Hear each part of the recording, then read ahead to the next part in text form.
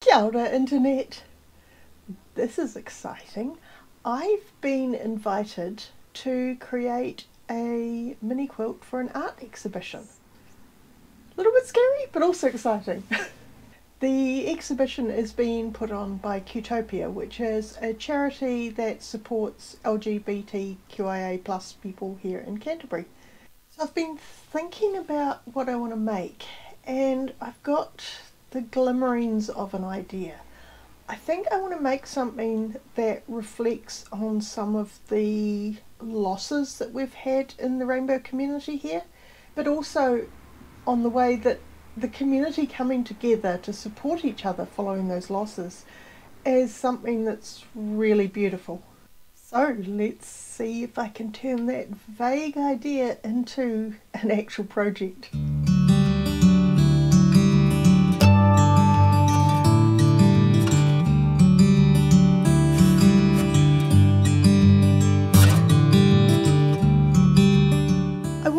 Rainbow background, but I'm not going to use my usual bright colours. This is a quilt that's about loss at its centre, so I'm going to try for a more muted rainbow and one that has a bit of a sunset vibe to it. I also want there to be a flower made up of 3D petals. So I've drawn this template shape and I'm going to sew two layers of fabric together, then turn them inside out to create the petals.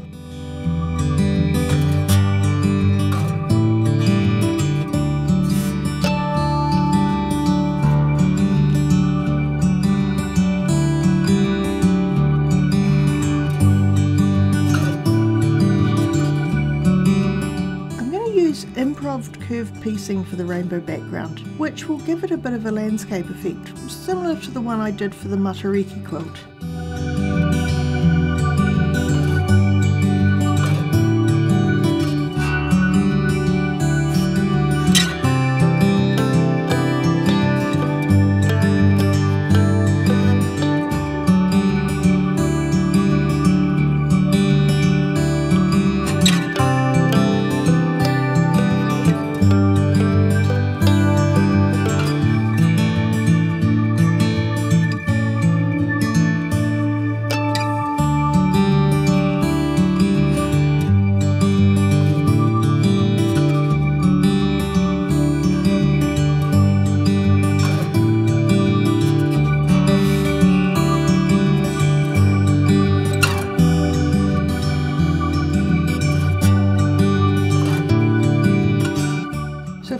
The bottom of the petals slightly and stitch them to give them a slight 3D curve so they'll stand out from the background.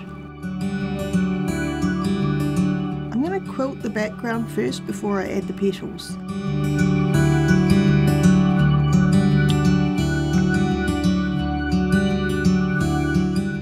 Quilting to draw your eye to where the flower's going to be. So I'm going to quilt outwards in a tightly wound spiral, which I think should give the illusion of concentric circles focused on that point.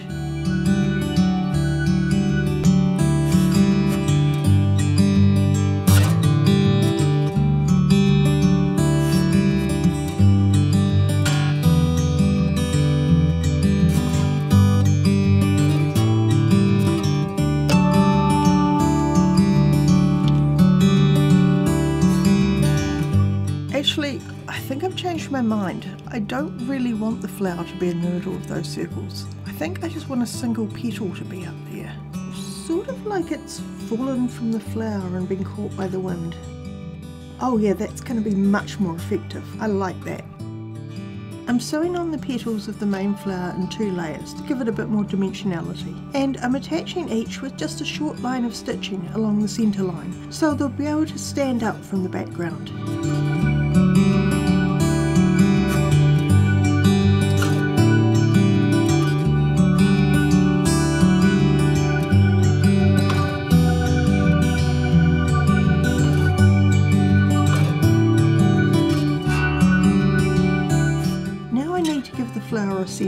I've got two options here for fabric. I could fussy cut a gold dot from this one or one of the spirals from this fabric.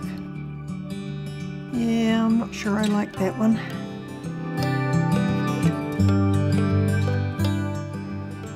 Oh, that one's much better.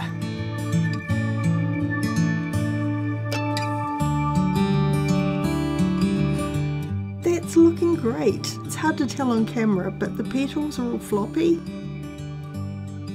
and the centre is just slightly raised. It's worked just how I wanted it to.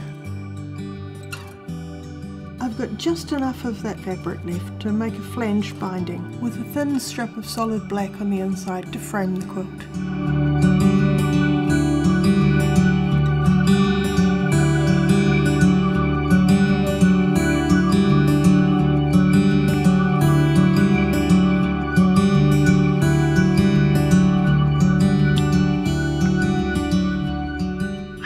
Finished.